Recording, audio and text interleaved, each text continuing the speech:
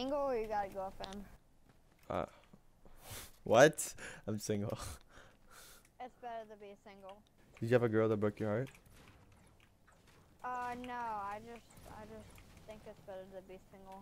Why? Just think about it. It's, it's been a, it's beneficial. You don't have to worry about them. You don't have to buy stuff for them. You don't have to do all the other stuff. You don't have to deal with the nonsense. What? So do I guess all the ladies like flock to you at school and you just you know you wave them off?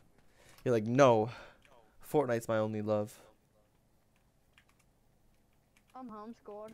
Oh, what grade are you in? Uh, seventh. I got held back going into fourth. I would be in eighth now, but I got held back. no way.